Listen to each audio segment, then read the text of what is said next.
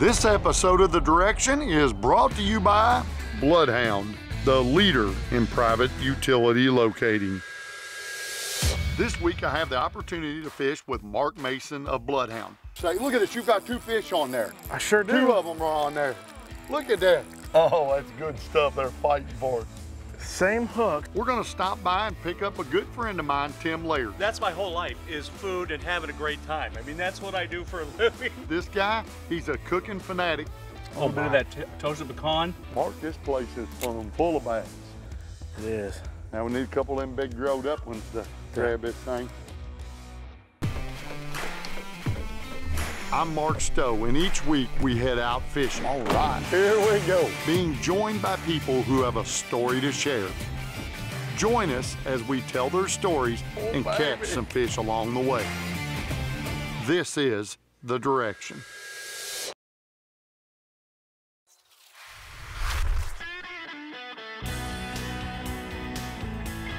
I'm out here loading the boat up and we're getting ready to head to Indiana. We're gonna have two guests with us this week. We're gonna be joined by Mark Mason of Bloodhound. This guy is all about keeping people safe. Bloodhound is a utility locating service and Tim, well, this guy is known as the CEO, the Chief Entertainment Officer.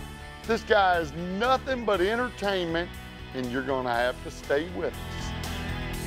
We're gonna stop by and pick up a good friend of mine, Tim Laird. This guy, he's a cooking fanatic, and hopefully later, he's gonna be showing us how to cook up some good fish. So we've got the great Tim Laird here. Tim's gonna be kind of like a surprise to these guys. they don't know he's coming, but uh, you know, uh, Mark and them, they're always talking about food and having a good time. Uh, the group of guys that were going up there, and actually the guy, Mark Mason, we're going up to meet. Uh, these guys are always having a, you know, great time everything they do. Well, I'll tell you what, What that's, a my, that's my whole life, is food and having a great time. I mean, that's what I do for a living, so we're going to have some fun. I, I can't wait. You know, it's been a while since I've been fishing, but I, I love to cook fish, and uh, I've got some great recipes I'm going to share with you. But uh, So you better catch something. Of course, if you don't, I'll be out there, I'll be out there too. So uh, I know we're going to land something for the pan.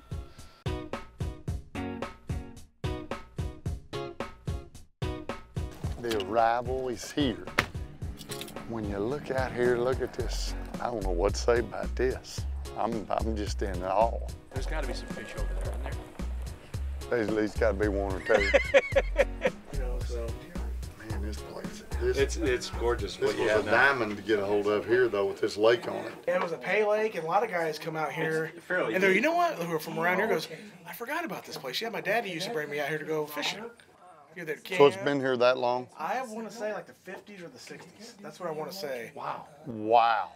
I can kick back and chill out here. Uh, can't you though? I mean, you just feel comfortable. You just relax. You walk. Oh, it does make you feel that way. Just go, oh.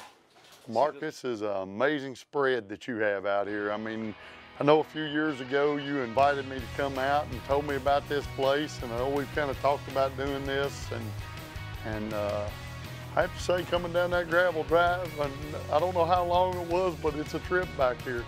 Uh, this is beautiful, and I can't wait to hit this body of water tomorrow. It's going to be awesome. Um, I'm looking forward to catching some fish with you, and I appreciate you uh, bringing us out here to do this because that's a body of water. this week, I have the opportunity to fish with Mark Mason of Bloodhound.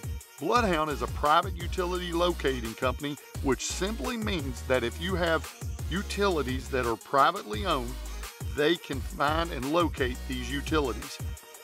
A private utility is like a gas line that runs from your house to your pool house or, or an electric line that runs from your house to your garage. The utility company doesn't own that, it's privately owned. And if you have these utilities and you're gonna be doing a project that you're gonna need to cross over them or dig, Bloodhound, they're the folks to call. This segment was brought to you by Ranger Boats, still building legends one at a time. This segment is brought to you by Power Pole, swift, silent, secure.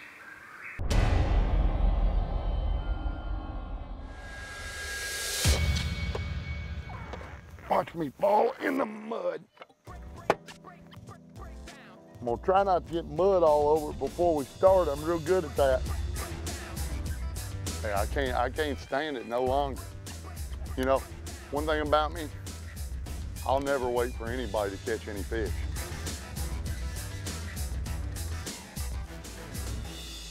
That's the way to make it start. Look, the boat ain't even left the bank yet. I'm gonna have to tell Mark, hey, Mark, uh, you know, a good thoughtful fisherman gets down there catching fish while people are cooking breakfast. Oh, there's one. Now that might, I miss him. Oh, no. No, it isn't right. It's not right. Hey, Mark, all I can say is while you're cooking, I'm fishing, man. I'm a heck of a nice guy. Breakfast is done. We're headed to the boat. The fun begins. Well, Mark, that was a great breakfast, man. This guy's full of hospitality. I mean, we got all these guys out here and everybody cooking. Uh, gonna be a good time, but I'm always about to fishing, so we need to hit the water.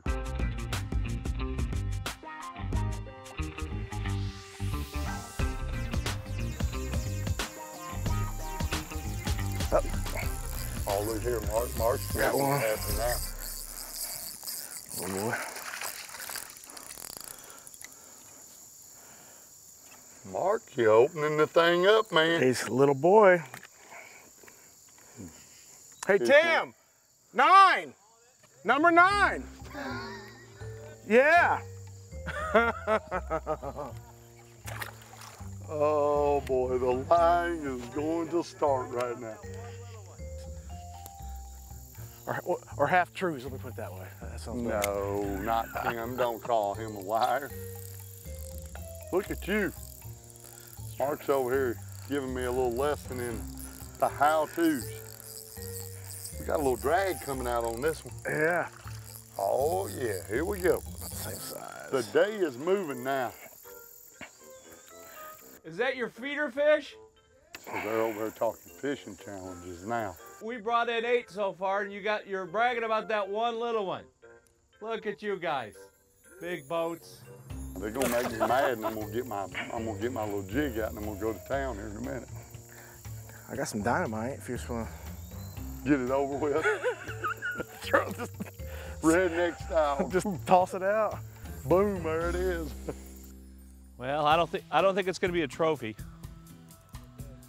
It's still a fish. That's what they call it, gone fishing. That's a nice looking fish. Look at that. All right, my friend, I'll see you when you're a little bigger.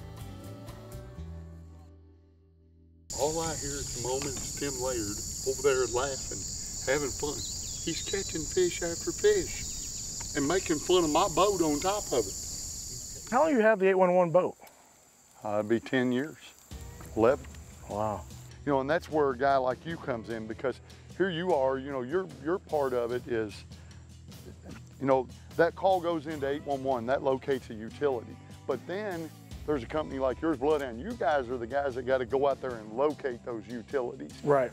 But then there's public utilities and private utilities. So 811's called in, the energy company or gas company or the water company, whoever, they send their folks out, whatever locating company, they mark those lines. But then in your backyard might be a propane line. And you guys actually, Bloodhound, when I called you all, Mark, I was doing a church and you all sent your crew out. Well, there was propane lines back there, but I needed to know where those propane lines were and that, and that's where I picked up the phone and called you guys because being a landscaper and said, hey, I need to know what else there is behind this church because I don't want to injure one of my operators. I don't want to damage that church. I don't want to harm somebody.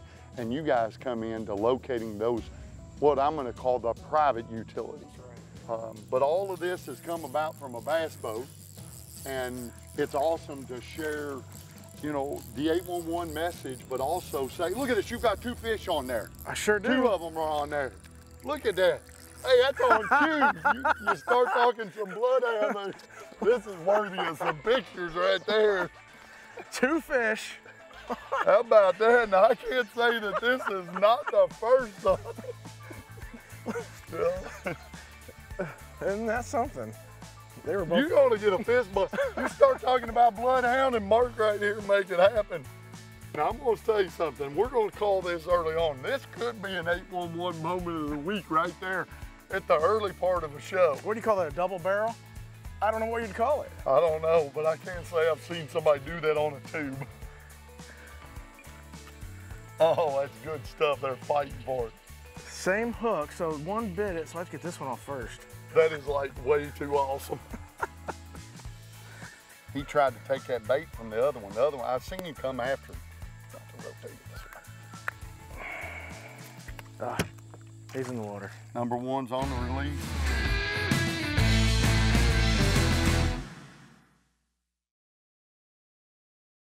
This segment is brought to you by Denali Rods, tournament tested, tournament tough.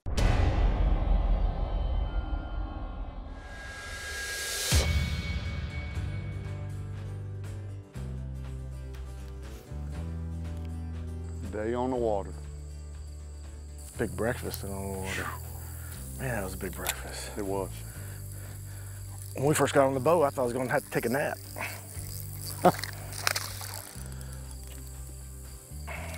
Screen up here is the That's the overflow. overflow. Yeah. Yeah, and then the emergency overflow is over here to the left.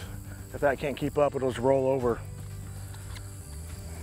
Tim's still there on the, Oh, they're over there having a ball, I think. You know, hey, Mike, I got to back up. I got to tell you, I'm, I'm going to share this with you. Don't tell these guys, Mr. Professional uh, Fisherman. Uh, but uh, I actually went to my fish store, and I've got some nice fillets all ready to go. So in case uh, we have it right. I'll tell you what, well, you know what we'll have to do this afternoon? We got, of course, the great Tim with us over there. And Tim is known by many, many folks for his, um, his love of food and uh, mixology and, and then all that. And Tim is gonna cooking us up a little crappie if we catch some fish, maybe. You know, I think the real reason, though, uh, I was invited. He knows I, I'm a rookie fisherman, but I can cook. So I'll bet that's probably why I got invited to this trip. Not for my fishing skills, but I think because of my cooking skills. So uh, at least I can do that part of it. All right, now we're at 10 o'clock. You know what you told me happens at 10 o'clock, don't you, Brad? yeah, all I know it's hot and it's humid. I, I- I'm sweating. Oh, I'm wringing wet. You know, Mark, this is the first time I've been on the water all year. Through what? I fish from the from the bank, but I haven't been out on the boat or anything all year. Been too busy, too busy spreading the message of 811 and private locating. little fun bait to throw, just chatter bait, little 3 8 ounce chatter bait. A little Keitech trailer on the back of it. Sling it out there and catch them. Now I just want to catch one of these eight pounders. That's a March thing. Oh, and I lost him Mark. Now that was, oh, there's another one up there. Look at him. Right there he is. yep. I watched him come off that stick and eat that thing. There's a number of them up there. They got it got them stirred up.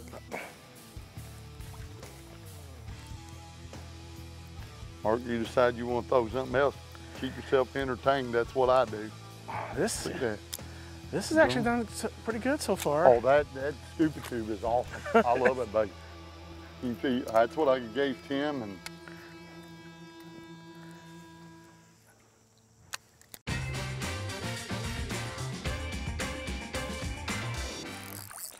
oh, there we go.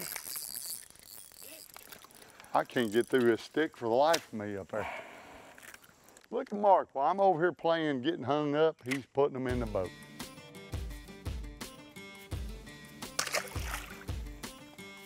I'm like a little kid. I can just keep doing this all day long and never get bored.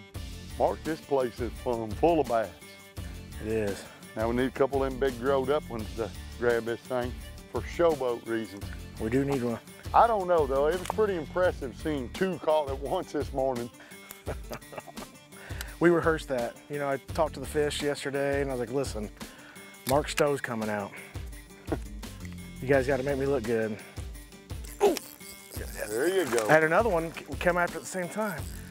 If I could have got two of them twice, that would have been oh, awesome. Oh, another one Another one was again? Yeah, he was right there. Need to tie a fluke on and let them go nuts trying to bust. Don't want to get finned.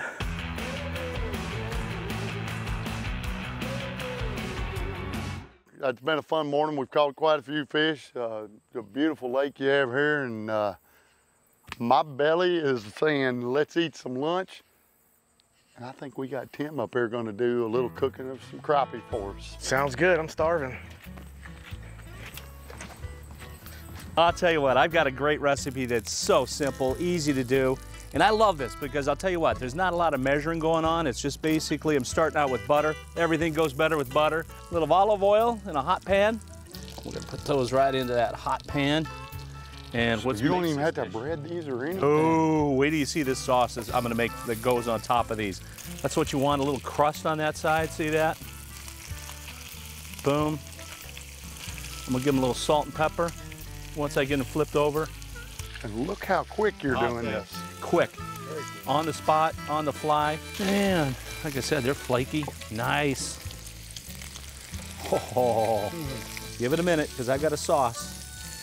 Kind of like a little 811. You got to wait to dig in. Wait before you dig. Here's, here's the secret. We're gonna put the sauce together. And like I said, I don't wanna overpower this good looking fish. So we need a little bit more butter, don't you think? Always, always. There's we go. A little more of the butter, a little garlic. Love a little garlic in there. Just to have a little flavor, a little kick. You don't need, like I said, a couple of cloves minced up is fine. Now we're gonna put in a little toasted pecans here, gang. So I toasted these off earlier. It's gonna give kind of a nutty flavor to the fish. A That's little more my kind of recipe, That's Mark. right. I don't know about your cooking. a little more salt and pepper. Then finally, a little citrus. You know how you like a little lemon or lime over a little uh, fish? That goes in. We got a little lime juice there. Now, gonna drizzle this. And this will continue to cook the fish too a little bit. Just that beautiful little drizzle. You see this recipe? Simple, easy, fast. How's that? Gonna take you five- Toasted pecan, five minutes or almond butter sauce ready to roll. And like I said, this will work. This will work with about anything you catch. So whatever you catch, this sauce will work. We're digging in. Did you call 811? We're digging in. Here we Our go. locate is done. okay. I've located some good fish over here. You get a little bit of that butter, a little bit of Oh, that toasted pecan, but not overpowered it, right? We still like that uh, beautiful fish Sweet. doesn't uh, you know I, I, I don't like those places where they take their fish especially fresh fish and they pour all this heavy duty sauce over there no the star is right here the fish and now, now I reason why you brought me right here Hey, we enjoy good food. We knew what we needed you for. this segment is brought to you by Bloodhound, the leader in private utility locating. Now it's time for your safe digging moment of the week, brought to you by 811. Always remember to call before you dig. The moment of the week has definitely got to be Mark Mason catching two fish on one tube. I've seen multiple fish caught on crankbaits before, but never have I seen two fish caught on one tube. Tell you what, old Tim's fish was some good fish there. Oh, I'm full. It was very good. I think what we ought to do here in a few is grab a few of these guys that are down here with us, and these are a part of your team at Bloodhound, and let these guys get in the boat, and, and we take them and do a little fishing with them. They would love it. They would love it.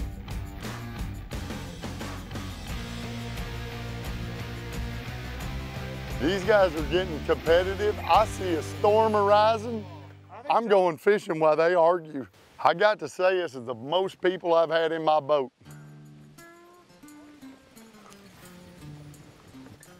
Oh, look at that. Oh, oh. look who. Oh! Now look, he, he Y'all see who's earned. Oh, no, wait, it didn't happen. Yeah. Well, you know, you guys, I want to tell y'all something. You look down here and you look written all over this boat and you, oh, the fish are coming in the boat. Look at this, another one, two of them. I think Tracy's up here leading the pack here. It's early. This is now my 811 fish today. You believe that? I feel my hands feel like it. Yeah, we know your fishing etiquette. Go tell the contract. It's- How's the fishing? I showed him my, my thumb hurts. I'm, t- I'm telling you, he's a great team leader. But this guy goes and tells a poor guy out there working, hey, look at my thumb. Uh, it's been a rough day. this guy's out in 100 degree heat working on his barn. Well, guys, it's fun to get to uh, take a whole lineup of guys and throw them out here in the boat. One, Mark, you allowing your team to, to you know, do what they do and, and be about people's safety and all you guys getting an opportunity to, to develop a company like that, make it greater, uh, educate people about safe digging and awareness and, and, and, and bloodhound and, you know, they can get out there and what's your website address? What is it? BHUG, BHUG.com. There you go. Go out there, they can look at your all's information. One thing about calling Bloodhound, you've always got to call 811 first. Before Absolutely. these guys will come, you've got to call 811 first. And uh, that's what I love. You know, right there, you're, it's all about being a shared partner in getting people to dig safe. Absolutely. The direction is brought to you by 811. Know what's below, call before you dig. We would also like to thank these fine partners.